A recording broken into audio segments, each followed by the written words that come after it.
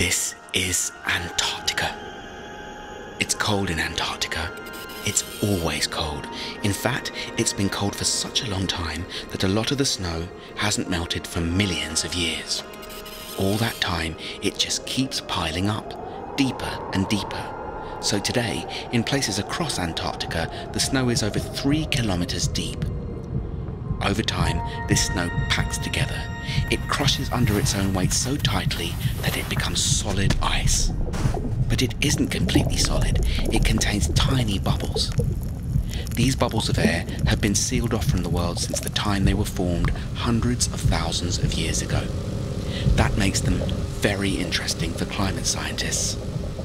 The scientists at the British Antarctic Survey have taken samples of ice from the surface to the bottom three kilometres down. By measuring the CO2 in the air bubbles, they have charted its level back through the years.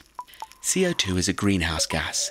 That means it traps heat, acting like a blanket that warms the Earth. The more CO2, the warmer the Earth. It's low during ice ages and high during warm periods. During ice ages, huge sheets of ice, kilometres thick, form across Europe, Asia, and North America. During the warm periods, like today, the ice retreats. Low CO2, high CO2. Low, high. Low, high. So, what are the CO2 levels that we are recording today? They are much, much higher. That's because burning fossil fuels releases CO2 and in recent years we have been releasing more and more CO2 into the atmosphere from our homes, from factories, and from cars and planes. Forests absorb CO2, but we have been cutting our forests down all around the world. This CO2 will continue warming the planet whilst it remains in the atmosphere, and meanwhile we are emitting even more.